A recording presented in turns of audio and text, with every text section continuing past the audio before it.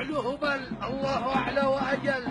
أعلو هبل. هكذا حين يختزل الوطن والجمهورية والحزب في شخصية الطاغي المستبد وهكذا حين يصبح الحزب أداة لتمرير الأهواء. حمله أنصاره على أكتافهم بعد أن سلموا وطنا بأكمله لعصابة عاثت فيه خرابا ساعات تفصل صنعاء عن يوم الرابع والعشرين من أغسطس يوم الحشد الذي دعا فيه المخلوع وأتباعه أن هلموا إلى السبعين ومثله دعا زعيم الميليشيا أتباعه إلى سد المداخل.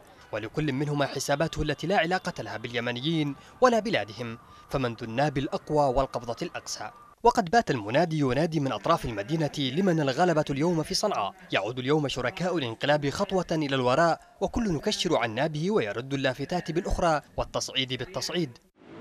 تبدو شوارع العاصمة المسلوبة ميادين مفخخة بالخوف وحدهم المدنيون من فقدوا أصواتهم أمام مكبرات الصوت وزوامل النفير للحرب ووحدهم الأكثر فزعا من انزلاقات أمراء الحرب لمواجهات يختلط فيها الحابل بالنابل. اتهامات متبادلة على ارتفاع أوارها كشفت عن سوء نوايا كلا الطرفين فإعلام الميليشيا يتهم المخلوع بالتحالف السري مع الرياض من أجل الانقلاب على شركاء الانقلاب السابق والآخر لا يتوانى عن الرد. يسعى المخلوع لاستعراض قواه ورهانه على حزبه الذي يحاول أن يقدم نفسه كمنقذ للحظة الحرجة وممثل للداخل. بعد أن فقد فرصته مع شريكه في الانقلاب وفقد أمله في تقاسم مغانم السلطة ونفوذها وهو ما يراهن عليه آخرون من أن المؤتمر هو حصان طروادة الذي سيفك أسوار صنعاء أمام قوات التحالف ويهدم جدار الحوثي من الداخل.